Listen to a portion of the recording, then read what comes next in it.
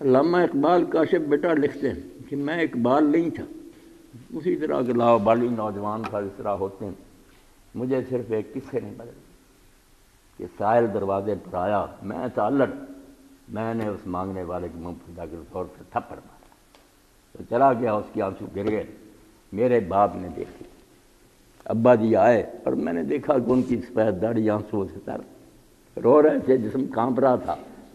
उन्होंने कहा, बेटा जब क़यामत का दिन हो रसूल्ला होंगे अम्बिया शहदा, सालहीन होंगे। ये साहिल भी आएगा, मैं भी होगा और अगर अल्लाह के रसूल ने मुझसे पूछ लिया कि नूर मोहम्मद है एक बच्चा तुझको दिया तो तू उसको इंसान ना बना सकता तू उसको अखलाक मोहम्मदी नहीं सिखा सकता मैं क्या जवाब तो कहता, अब्बा जी का रोना और कांपना, उसने मुझे बदल। मैंने अपनी रवश तब्दील कर ली कुरान की तरफ़ आ गया। उन्होंने कहा, बेटा, मुझे बताओ सुख मेरे पल्ले क्या हो?